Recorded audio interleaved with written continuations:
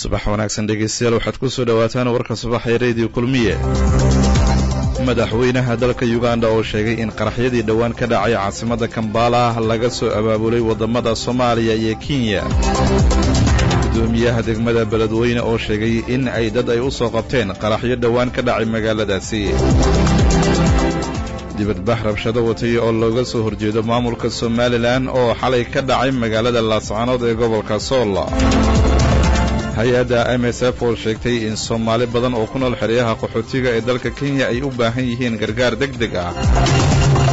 dowladda swiden oo xukun ku riday muwaadin soomaaliyeed oo malaayiin doolaar ah ku qaatay in uu naafannimo u sheegtay. Dibaddana waxaa ka mid ah. Madaxweynaha neejar oo walaac ka muujiyey hub si sharci dara ah looga soo tahriibiyo dalka liibiya iyo madaxda waddamada maraykanka iyo ruushka oo maanta ka wada hadli doona xiisadda ka taagan xuduudda yukrain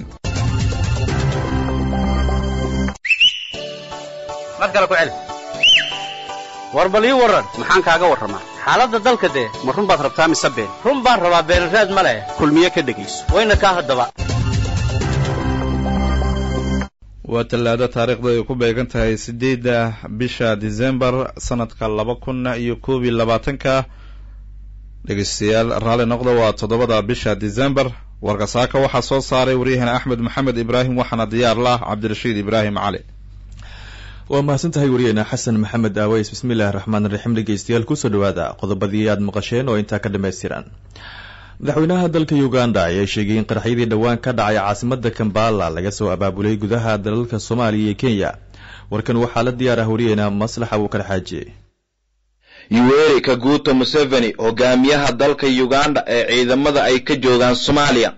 ayaa waxaa si kulul uu uga hadlay qaraxyadii ismiidaaminta ahaa ee dhowaan ka dhacay caasimada dalka uganda ee kambala oo ay ku dhinteen ilaa iyo lix qofood. In ka badan soddon qofoodna dhaawacyo ay ka soo gaareen. Museveni ayaa wuxuu sheegay in dowladdiisa ay ogaatay baaritaano ay samaysay kadib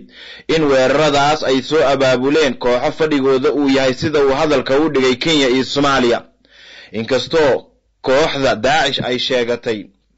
mas'uuliyadda qaraxyadaasi mataanaha ahaa. Haddana yuweri museveni oo waraysi gaara siinayay wakaaladda wararka ee reuters wuxuu sheegay in dowladdiisa ay si dhab ah u ogaatay in laga soo abaabulay gudaha kenya iyo soomaaliya weeraradaasi. Qaraxyadii kambaalo ka dhacay dhowaan waxaan haynaa xogo muujinaya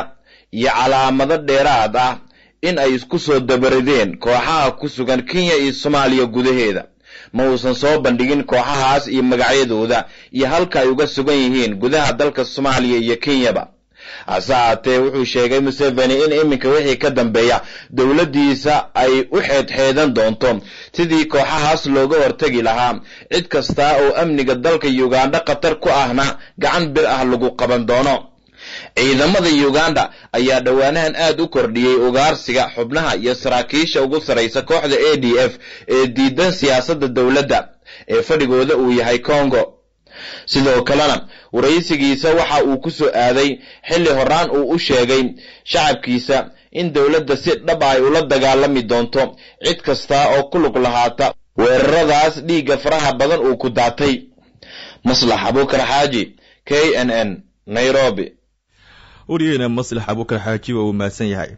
Guddoomiyaha degmada beledweyne ayaa sheegay in dad ay u soo qabteen qaraxyo dhowaan ka dhacay magaaladaasi.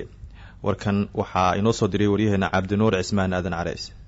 ciidamada ammaanka magaalada beledweyne ee xarunta gobolka hiiraan ayaa saacadihii la soo dhaafay howlgallo qorshaysan ka fuliyey xaafada ka tirsan magaalada beledweyne ayaa gacanta ku dhigay rag dhowaana weerar bangacmeed ah ku weeraray bar kontarool ciidamada booliiska iyo shabel ay ku leeyihiin xaafada buundaweyn sida uu warbaahintu u xaqiijiyey gudoomiyaha degmada beledweyne cismaan cisow dhuwo sidoo kale gudoomiyaha degmada ayaa waxa uu sheegay in laamaha ammaanka magaalada ay xabsiga dhigeen dad kale oo loogu shakisan yahay. Qaraxii ka dhacay maqaaxi ku dhex taala saldhigga booliiska magaalada beledweyne. Ayaanu qaraxa oo ka dhacay saldhigoo kale. Dadaa loo soo xirxiray way xirxiryihiin insha allah. Haddii ilaa yidhaahdo bam habeen dhexdaas la tuuray. Markii tuuray waa soo qabtay bariiskaa soo qabtay waa xiran yahay. Muxuu ahaa ii sheeg wixii saasoo kale oo nimankan argagixisada ah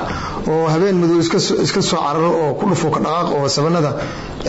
shay dhamale u soo tuuran insha allah haddii ilaa yidhaahdo waa ka fool jegannahay insha allah waanu diyaar garownay. Sidan insha allahu arrintaas maaragtay aan gacanta ugu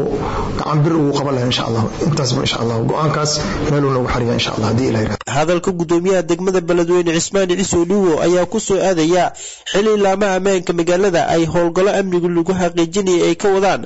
afarta xaafad ee magaalada beledweyn cabdinuur cismaan aadan carays warbaahinta kulmiye beledweyn dibadbaxyo rabshadu wata ayaa looga soo horjeeday. Waa maamulka somalilan weeyaane waxaa xalay oo ka dhacay magaalada laascaanood ee gobolka sool gobolka sool gaar ahaan magaalada laascaanood wararka ka imaanaya waxay sheegayaan halkaasi xalay waa isku food saareen ciidamada ammaanka ee magaalada iyo dadweyne ka careysan dil habeen ka hor ay geysteen ciidamada. Lama cadeen arrintan balse dadweynaha ayaa sheegay inay aqbali karin in ciidamada ay dilaan ama ay xiraan dadka ka aragti duwan. Wararka ayaa intaasi ku daraya in xalay dadweyne careysan ay dhigeen dibadbax ballaaran looga soo horjeedo maamulka somalilan iyo mas'uuliyiinta gobolka sool goobjoogaal la hadlay warbaahinta kulmiye ayaa sheegay in ciidamada ammaanka somalilan ay rasaasi ku fureen dadka dibadbaxa dhigayay magaalada laasacaanood ee gobolka soolkaasi oo sababtay khasaaro dhimasho iyo dhaawac. Intii la xaqiijiyey dadweyne ku dhow shan ruux ayaa dhaawac ee ka soo gaaray halka kuwo kalena ee dhaawacyadooda ay daran yihiin. Maamulka gobolka sool iyo kan magaalada laasacaanood weli kama aysan hadlin shaqaaqadan xalay ka dhacday markan haddaynu eegno hay'adda m s f ayaa sheegtay in soomaali badan ee ku nool xeryaha qaxootiga ee dalka kenya ay u baahan yihiin gargaar deg deg a warkan waxaa la diyaarah wariyaheena cabdiraxmaan axmed gacal hay'adda dhakhaatiirta aan xuduudda lahayn ee m s f ayaa ka mid ah hay'adaha walaaca ka muujiyay xaaladda qaxootiga waxayna arrintan warbixin ay soo saarta maanta ku xoojisay walaaceeda islamarkaana waxay ku dirtay baaq iyadoo aan bilooyin uun ka harsan tahay xilliga dowladda kenya sheegtay inay xidhaysa xeryaha qaxootiga dhadhaab iyo kaakuma ayaa waxaase soo taraya baaqyada ku aadan in xal waara loo helo dadka ku nool xeryaha ku nool dhadhaab iyo kaakuma oo halis ugu jira in laga joojiyo gargaarka yar ay hadda helaan. M s f ayaa dowladda kenya iyo beesha caalamka ugu baaqday inay ka dhabeeyaan baaqyadoodii ahaa in qaxootiga ka dhex galaan bulshooyinka kale ee ku nool kenya amba dib u dejin loo sameeyo dal kale. Dhinaca kale waxay bogaadisay sharcigu uu dhowaan siiyahay madaxweynaha kenya uhura kenyatta kaasi oo qaxootiga siinaya fursad waxbarasho iyo inay dhex gali karaan bulshooyinka kale ee ku nool dalkaasi. Warbixintu waxay daaha looga rogay in tirada qaxootiga ee iskood ugu laabanaya soomaaliya ee hoos u dhacday saddexdii sane ee la soo dhaafay. Tanina waxay dhalatay colaadaha barakaca abaaraha sii kordhayay ee ka jira soomaaliya. Dhinaca kale dalabaadka dib u dejinta ee ka imaanaya waddamada qaniga ah ayaa inta badan waxay noqdeen kuwo hooseeya taasi oo keentay in qaxootiga ee wax yar ee ka doortaan inay sii joogaan kenya halkaasi ay ku leeyihiin xuquuqo xadidan. Qaxootiga dhadhaab ayaa hadda laga mamnuucay inay shaqeeyaan amba u safraan amba ay wax ku bartaan meel ka baxsan xeryaha ay hadda ku jiraan. Markan haddiinu egno dowladda sweden ayaa xukun ku riday muwaadiniin waa muwaadin soomaaliyeed oo malaayiin dollar ku qaatay naafinimo uusan ahayn warkan waxaa la diyaarah wariyeena xasan maxamed aweys maxkamadda gobolka orebro ee waddanka sweden ayaa nin wata dhalashada waddankaasi oo asal ahaan ka soo jeeda soomaaliya. Waxa ay xukun ay ku riday afar sana ah kadib markii uu been uu u sheegay hay'adda badbaadada bulshada rayidka ee waddankaasi sweden. Waxaa loogu yaboohay ninkaasi laba iyo toban milyan oo lacagta koron ee waddankaasi sweden laga isticmaalo. Si looga taageero ayaa la yidhi in uu sheegtay cudurka naafanimada intii u dhexaysay laba kun iyo afar iyo tobankii laba kun iyo koob iyo labaatankii dadka ehelada waxaa lagu eedeeyey in aysan macluumaad sax ah aysan ka siinin laamaha amniga iyo sidoo kale saraakiisha bulshada rayidka waddankaasi sweden u dhaqdhaqaaqa in ninkani uusan ahayn qof naafa. Maxkamadda orebro ayaa waxa ay ninkan iyo sidoo kale qoyskiisaba ay ku eedeeyeen in ay khiyaano ay ka galeen bulshada waddankaasi sweden waxaana la tilmaamay in loogu yaboohay in ka badan laba iyo toban milyan oo lacagta corona la yidhaahdo ee waddankaasi sweden laga isticmaalo. Waxaana ninkaasi oo da-diisu ay tahay labiiyo konton sano jir la tilmaamay in uu u sheegay in uu doonayo in uu helo dhakhaatiir xaaladiisa caafimaad guriga kula tacaala iyo sidoo kale dad ka caawiya in guriga ay xaaladiisii caafimaad ay kula tacaalaan. Ninkaasi waxaa la tilmaamay in uu sheegtay inuusan dhaqdhaqaaqi karin waxaana sidoo kale uu shaacu ka qaaday in labadiisii lug aysanba shaqaynaynin ninkaasi waxaa la tilmaamay hadda in ay soo saareen saraakiisha booliska ee waddankaasi sweden isaga oo garoonka ka safraya oo si caadiya u socda. Baarayaasha arrimahani ku takhasusay ayaa waxa ay dib ay u raaceen taageeradii maaliyadeed ee loo fidiyey ninkaasi waxaana caddaatay in ninkan uu yahay qof been u sheegay hay'adda bulshada u dooda ee waddankaasi sweden. Ninkan waxaa la arkayay isaga oo boorso weyn wata oo ka dukaamaysanaya waddankaasi sweden kadibna u soo safray dhowr jeer soomaaliya waxaana sawiro laga qaaday labiiyo konton sano jirkan ay muujiyeen in isaga oo caadiya uga baxaya garoonka orlando isagoo u soo safray soomaaliya oo boorsooyinkiisii wata.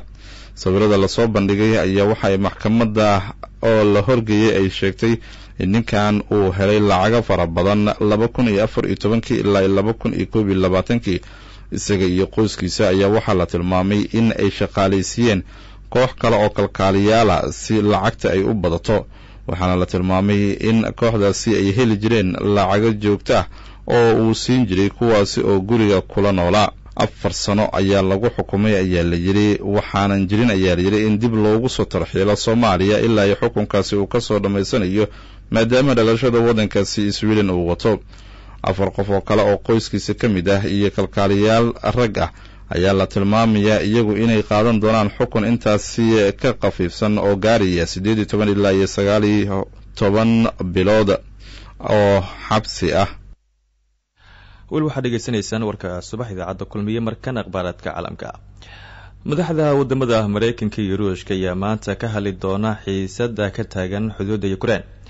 jambesaki afhayeenka aqalka cad ee mareykanka ayaa sheegtay in ay kulan fogaan araga ay wada yeelan doonaan madaxweyne joe baiden iyo madaxweynaha ruushka valadimir putin kuwaasi oo kulankoodii ee hareen doona arrimaha ukraine iyo weliba ammaanka internetka iyo midka gobolka.